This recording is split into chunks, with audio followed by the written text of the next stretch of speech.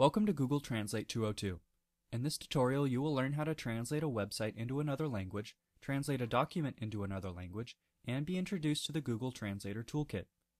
To translate the entire contents of a website into another language, first choose the From language that the website is currently written in. In the To box, choose the language that you want the website to be translated into. Next, type the web address of the website you want translated into the text box.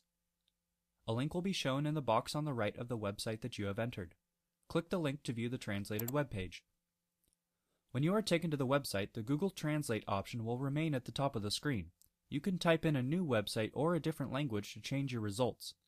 The website will be shown in the language you selected, and any page within the website will also be translated for you. You can easily toggle between the natural and translated languages by clicking the buttons in the top right hand side of the screen. If you want to convert a paper or file on your computer into another language, click the translated document link under the text box on the left. An upload bar will be shown. Choose the appropriate from and to languages and then click the Choose File button to locate a document on your computer that you would like to translate. When it is uploaded, click the Translate button. A new page will appear with the text from your document translated into the new language. Google Translate also offers an application known as the Google Translator Toolkit.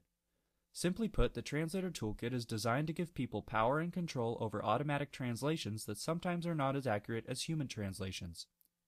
You can access the toolkit by clicking the Translator Toolkit link at the bottom of the Google Translate page. You must sign in with your Google account in order to launch the toolkit. Once inside, you will be taken to your toolkit homepage. This is where you can keep track of all the projects you are working on, including the ability to upload new material to edit. The next video will explain the Google Translator Toolkit in more detail.